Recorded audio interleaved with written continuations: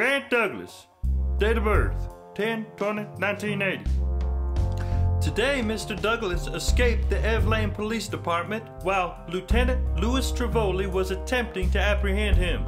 While being detained, he assaulted Lieutenant Trevoli and fled on foot. He is being charged with aggravated assault, six counts of arson, 10 counts of assault and battery. He has also been involved in the sale and distribution of illegal firearms, four counts of burglary, two counts of computer crimes, conspiracy, credit card fraud, criminal contempt of court, cyberbullying, disorderly conduct, disturbing the peace, domestic violence, drug manufacturing and cultivation, drug possession, drug trafficking and distribution, three counts of embezzlement, extortion, forgery, fraud, three charges of kidnapping. He has also been charged with hate crimes and indecent exposure.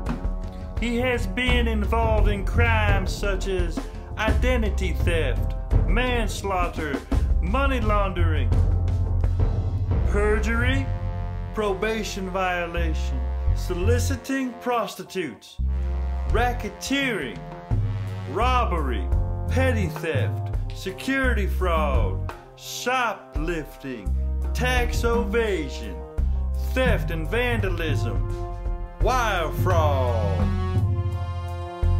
and stalking.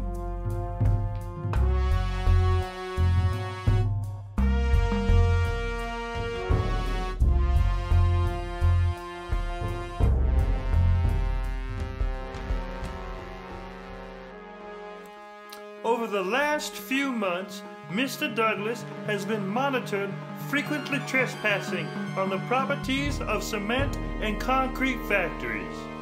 It is suspected that he is searching for the specific chemical tricalcium aluminate. Not only is it used in cement making process, but it is also the primary ingredient of the designer drug called 2C oil.